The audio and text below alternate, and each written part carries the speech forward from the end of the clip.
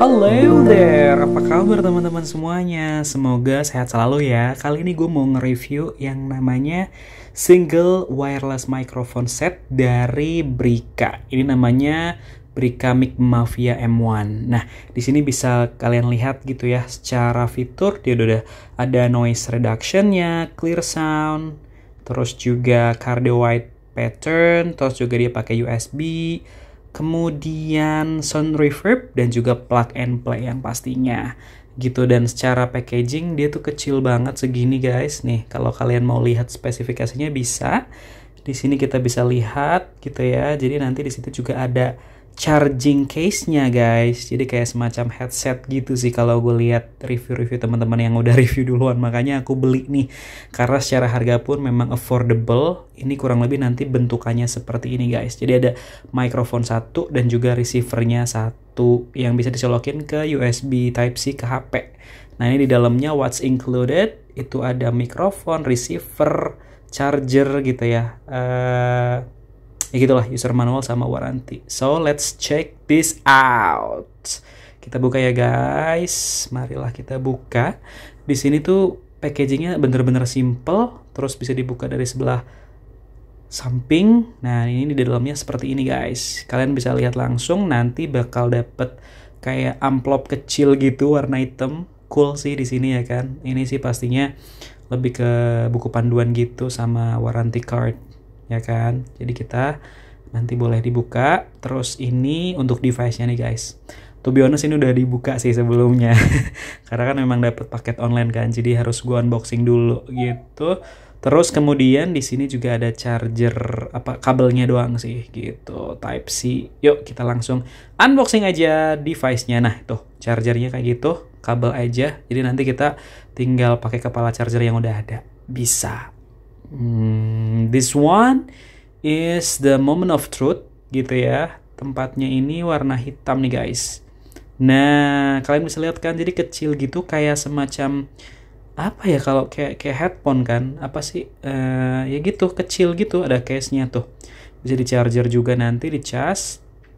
Um, ya, kayak gitu.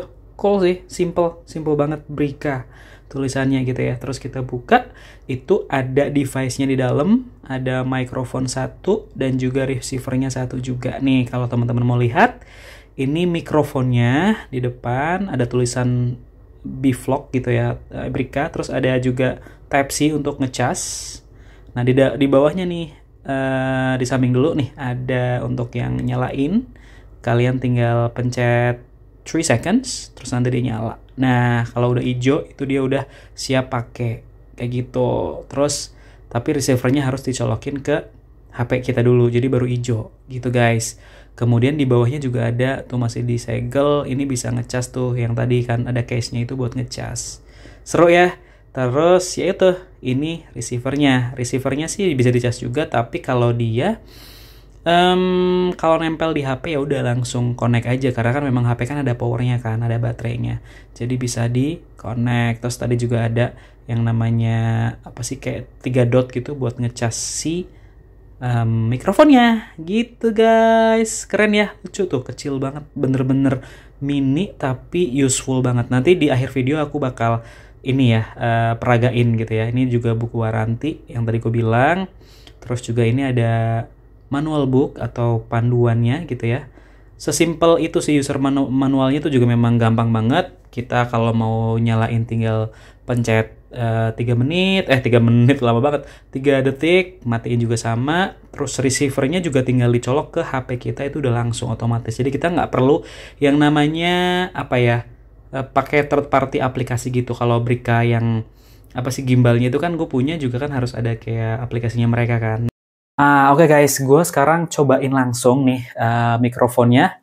Ini udah nyala, warna hijau gitu ya. Terus juga apa sih receivernya juga udah gue colokin ke HP langsung gitu ya guys ya. Ini nggak terlalu luas kamar gue, jadi gue cuma bisa mundur sampai sini doang gitu kan. jadi gitu. Tapi I think that it's good okay karena memang secara suara itu dia uh, tetap connect sama receivernya, which is yang connect ke HP gitu kan. Ini dibilang uh, diklaim bisa sampai 20 meter. Even ada yang testing sampai 30 meter juga guys. Jadi Ini worth it banget karena harganya cuma 200 ribu rupiah saja. Ini yang single ya. Uh, kalau yang double itu sekitaran 300 ribu. Karena gue mau trial, jadi gue beli yang satu dulu aja. Karena memang gue juga pakainya sendiri kan, buat vlogging sendiri. Jadi gitu guys. Ini sih oke okay sih kalau gue bilang dengan harga 200 ribu. Jadi buat teman-teman semua yang memang mau beli, sok beli. Karena memang worth it banget, se-worth it itu. Lumayan gitu ya. Memang sih banyak uh, mikrofon yang mungkin teman-teman lihat dan uh, apa lihat reviewnya lebih bagus tapi kan harganya juga tahu sendiri gitu kan tapi untuk memulai it's a good thing worth it banget oke okay guys so thank you so much untuk review hari ini Next, aku bakal, insya Allah bakal aktif untuk vlogging-vlogging karena I'm having this new device untuk nge-record suaraku. Jadi langsung enak dari HP sama uh, apa mikrofon wirelessnya gitu. Oke, okay, thank you so much. Bye.